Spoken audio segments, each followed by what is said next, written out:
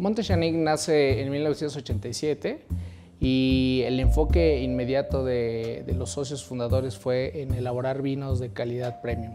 Entonces, a partir de ahí hemos sido la punta de lanza para todo el suceso que ha sido el vino mexicano en cuanto a la oferta de calidad que hoy tenemos.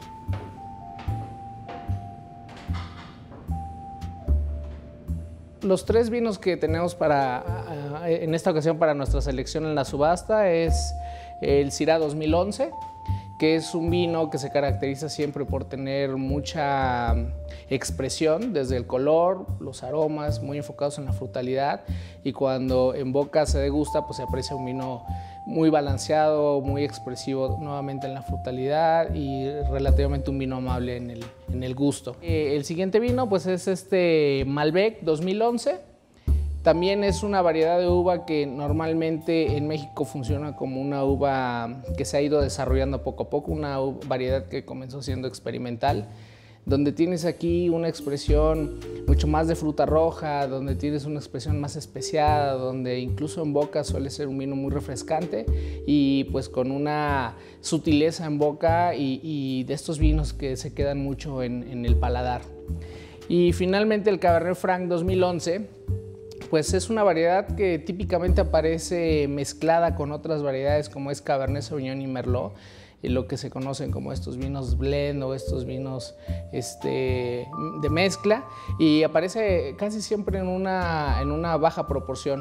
Lo que nosotros aquí encontramos es que la Cabernet Franc en México se expresa y madura muy bien, entonces pues tienes un vino más contundente, tienes un vino este, mucho más complejo y tienes vinos que este, en la característica de la añada, pues estamos hablando de vinos de evolución y vinos que se han conservado perfectamente en estos siete años, que es lo que ahorita llevan guardados en cava. El Cira 2011 lo podemos compartir perfectamente con un mole poblano, entonces eso va a ser un maridaje extraordinario. El Cabernet Franc podríamos referirlo con, por ejemplo, un cabrito, ¿no? por ejemplo, unas, eh, un asado tal vez. Este, incluso un lechón podría caber muy bien con, este vino. Y el Malbec, pues definitivamente este nos vamos con eh, cosas este, más de, la tierra, ¿no? Este, una sopa de champiñones o una crema.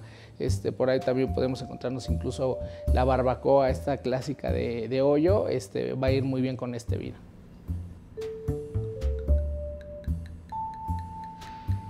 Definitivamente las consideraciones que hay que tomar en cuenta para poder conservar los vinos en casa es eh, dejarles un espacio donde primero no tengamos grandes variaciones en la temperatura durante todo el año y durante eh, las diferentes horas del día.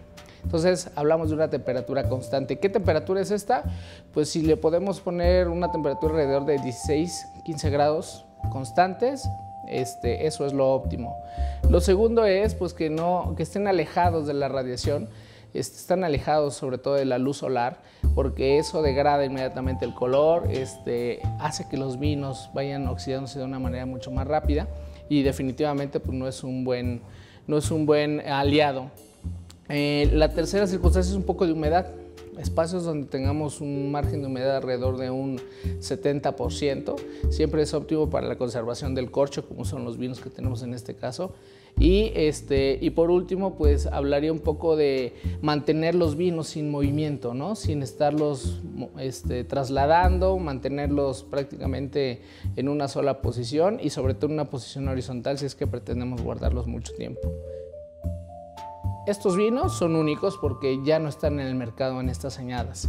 Si bien es cierto que son tres eh, diferentes vinos que todavía los podemos encontrar en el portafolio de Montchenic, pero los vamos a encontrar en añadas recientes.